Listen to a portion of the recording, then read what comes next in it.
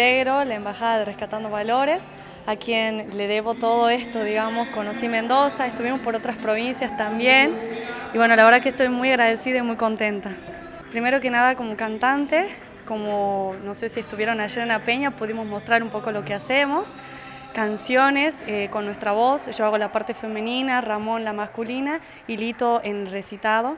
Y también grabamos poemas, yo hago dúos, eh, duetos con Lito Molina, eh, también están incorporados ahí en el CD, así que bueno, la verdad que muy agradecida, la verdad que sí, es una, la verdad que para mí es una misión muy, muy, muy profunda, ¿sí? lo que Lito quiere hacer y trata y que si ustedes ven en el Facebook y en las páginas que tiene él, van a poder eh, conocer un poquito de todo lo que hace. Hay fotos ahí que la verdad que impresionan mucho y bueno, la verdad que muestran otra realidad, otra realidad. Un presidente de Rescatando Valores, eh, quienes juntamos cosas para llevarle a escuelitas aborígenes de allá del norte, de acá, o sea, de la Argentina.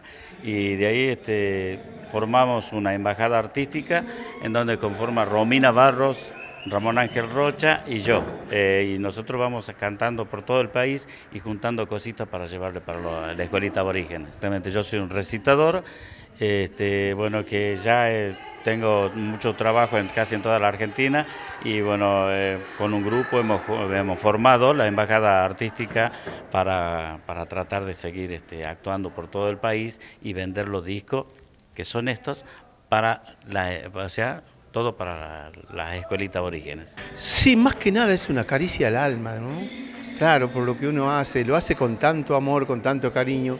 Y se imagina venirnos de, de cuántos kilómetros recibe este municipio, así que se imagina la felicidad que tenemos. Bueno, yo soy un folclorista, eh, ¿cómo le puedo decir? Tradicional, tradicional. Zamba, chacareras, cueca, balsecitos. Sí, porque vengo de tierra adentro. Sí. Y claro, lo que pasa es que uno mamado de, cantores como los cantores Alba, Horacio Guaraní, Carlos Torreville, Aldo Monge, y más o menos ese estilo.